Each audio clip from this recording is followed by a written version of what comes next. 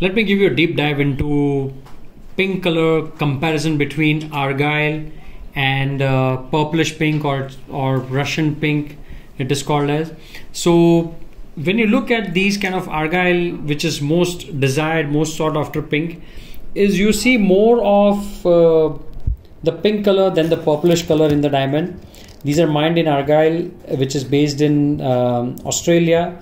The mine most preferred most desired pink in the world pink color more very a, lot of japanese germans italians europeans britishers americans canadians uh, customers they buy these diamonds of various size and quality. Uh, i'm able to source these diamonds right from wholesalers so you get best of the deal. Now let's look into how uh, a russian pink or a purplish pink look in compared to to the you can see this uh, this these diamonds have more of a purplish shade than a pinkish shade. Every diamond you can see has a more of a uh, purplish side than a pinkish side to it.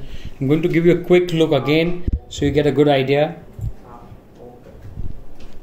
This is the argyle pink. And this is the russian pink i hope you are able to get a good insight of it good idea. Oh i have i'm trying to offer as much genuine expert information to my viewers to my customers so that they buy it safer better from wherever they are. You can be a jeweler or a wholesaler or a consumer from any part of the world. I love to offer these diamonds at the best of the price best of the quality possible so reach out to me and i will guide you further. Thank you